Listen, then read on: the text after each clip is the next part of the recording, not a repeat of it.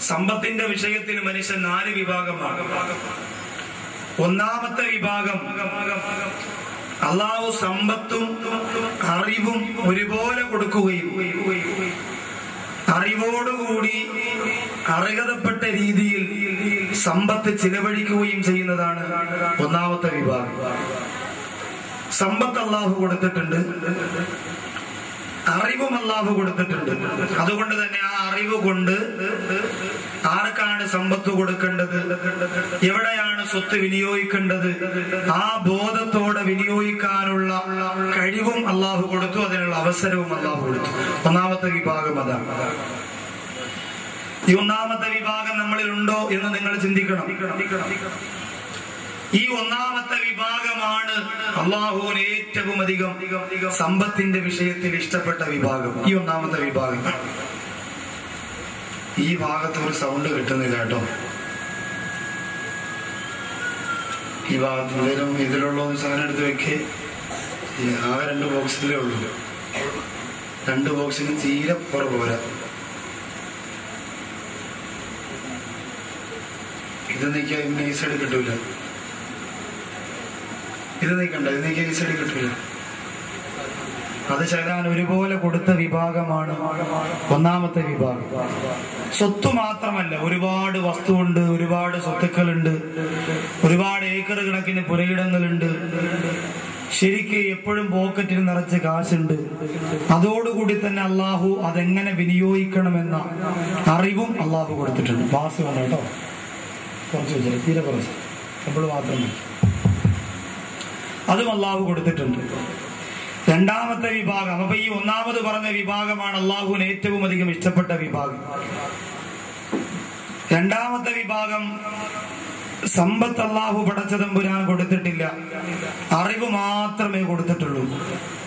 ഒരുപാട് സ്വത്തൊന്നും അള്ളാഹു കൊടുത്തിട്ടില്ല അറിവ് മാത്രമേ കൊടുത്തിട്ടുള്ളൂ. എങ്ങനെ വിനിയോഗിക്കണമെന്നറിയാം. നേരത്തെ വെച്ചിരുന്ന പോലെ വെച്ചിരുന്ന മതി ചെയ്യണ്ടേ വീണ്ടും മുഴക്കം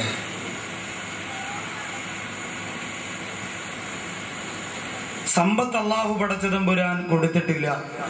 അറിവ് മാത്രമേ കൊടുത്തിട്ടുള്ളൂ.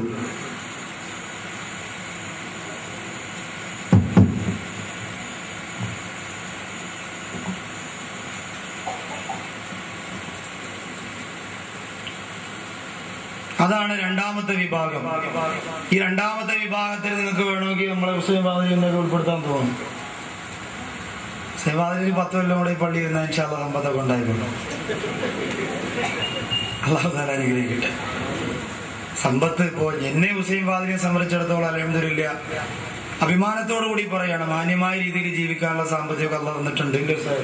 ഉണ്ട് അലഹമില്ല ഇതിന്റെ ജ്യേഷ്ഠനെ എനിക്കും വലിയ ഇഷ്ടമാണ് എന്നെയും വലിയ ഇഷ്ടമാണ്. ഞാൻ പ്രഭാഷണത്തിന്റെ അവസാനം പണ്ട് ബൈത്ത് പാടി സലാത്തിൽ വരുന്നത് അന്ന് ശരിക്കും മുറുക്കാൻ ചവയ്ക്കാനാണ് താമസം ഇങ്ങനെ ചവച്ച് ചവച്ച് ചവച്ച് ചവച്ച് ഇങ്ങനെ ഒരു വല്ലാത്തൊരു തലയെക്കെട്ട കെട്ടി ഇങ്ങനെ ആടി പ്രവാചകർ സല്ലല്ലാഹു അലൈഹി വസല്ലമ തങ്ങളോടുള്ള അനുരാഗം എന്ന് പറഞ്ഞാൽ ആ ഉസ്താദിന് വല്ലാത്ത മനസ്സിന്റെ അകത്ത് വല്ലാത്തൊരു താല്പര്യമാണ്.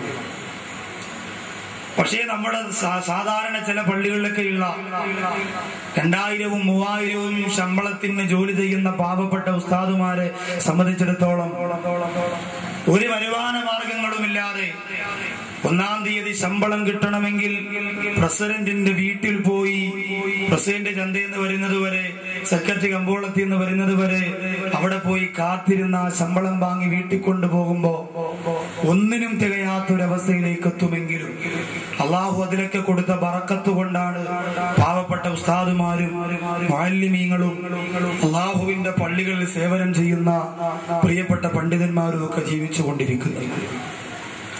എങ്ങനെ പണം ചിലവഴിക്കണമെന്ന അറിവ് മാത്രമേ കൊടുത്തിട്ടുള്ളൂ. പണം അള്ളാഹു കൊടുത്തിട്ടില്ല. പക്ഷെ അവർക്കൊരാഗ്രഹമുണ്ട്.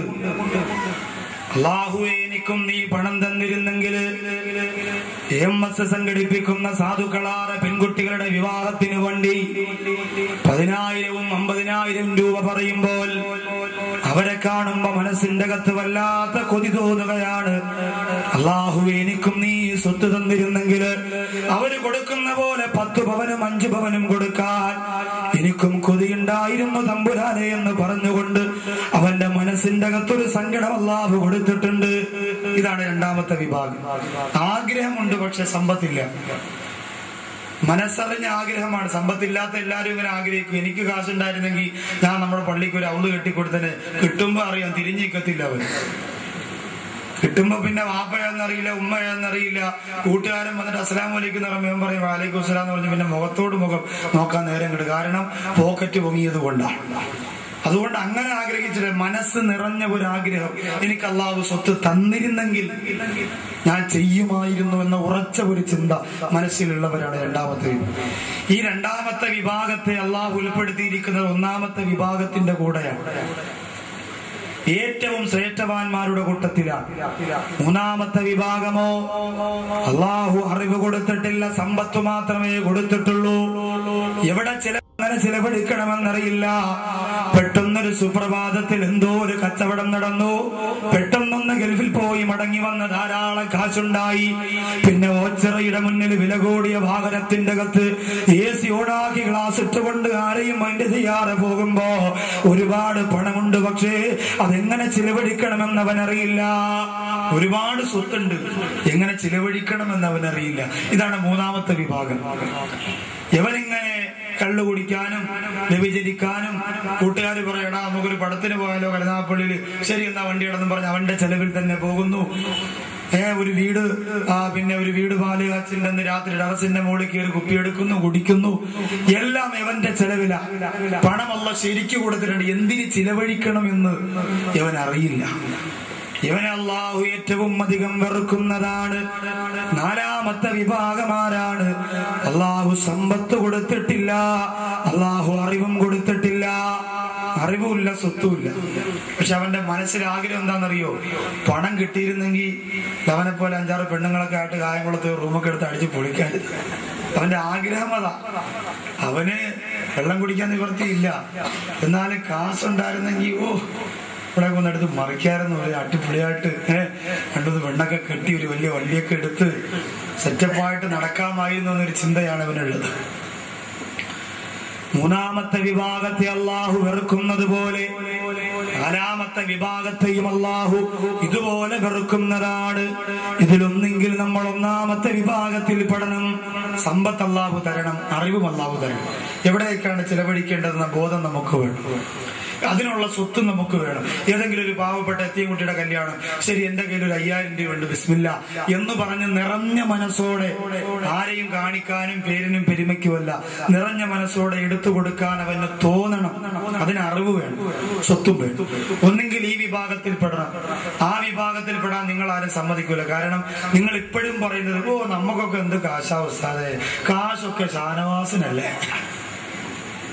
കാരണം എന്താ? അവന്റെ കയ്യിൽ കിടക്കുന്നത് റാഡോടെ വാച്ച. ഇരുപത് രൂപയ്ക്കുള്ളതാണോ? ഇരുപതിനായിരം രൂപയ്ക്കുള്ളതാണോ എന്ന് അള്ളാഹു ഇരുപത് രൂപ കൊടുത്താലും ഭീമാപ്പള്ളി പോയാൽ കിട്ടും റാഡോടെ വാച്ച്. സ്വർണം തന്നെയാണ്. ഒരു കുറവും ഉണ്ടാവില്ല പക്ഷേ നമ്മൾ അങ്ങനെ പറയും നമ്മൾ ആരും പണക്കാരില്ല എന്ന് പറയുള്ളൂ. എത്ര കാശുണ്ടെങ്കിലും നമ്മൾ പറയുന്നത് എന്താ? ഓ ഞാനൊരു പാവപ്പെട്ടവനെ. പിന്നെ ഞാൻ പത്തോ നൂറോ വല്ലപ്പോഴും പള്ളിയിൽ കൊടുക്കുന്നു എന്നതല്ലാതെ എനിക്ക് കാശില്ല എന്നാണ് നമ്മുടെ തീരുമാനം. അതുകൊണ്ട് ഒന്നാമത്തെ വിഭാഗത്തിൽ നമ്മൾ പെടൂല. ഉൾപ്പെട്ടാലും നമ്മൾ അതിലല്ല എന്ന് പറയും. രണ്ടാമത്തെ വിഭാഗത്തിലെങ്കിലും പെടണം അള്ളാഹു പുരാ സ്വത്ത് കൊടുത്തിട്ടില്ല. അറിവ് മാത്രമാണ് കൊടുത്തത്. എവിടെയാണ് പണം ചെലവഴിക്കേണ്ടതെന്നവനറിയാം. ആർക്കാണ് പണം കൊടുക്കേണ്ടതെന്നവനറിയാം. എങ്ങനെയാണ് സമ്പാദിക്കേണ്ടതെന്നവനറിയാം. അതെങ്കിലും എന്റെ പ്രിയപ്പെട്ടവരെ പഠിച്ചുകൊണ്ട് വേണം നമുക്ക് പിരിയാൻ. നിങ്ങൾക്കറിയുമല്ലോ അള്ളാഹുവിന്റെ പരലോകം ഭൗതികമായ ലോകത്ത് മനുഷ്യന് വേണ്ടി അള്ളാഹു പടച്ചതമ്പുരാൻ എല്ലാവിധ ചോദ്യങ്ങളും നടത്തപ്പെടുന്ന ആഹ്റലോകമുണ്ടല്ലോ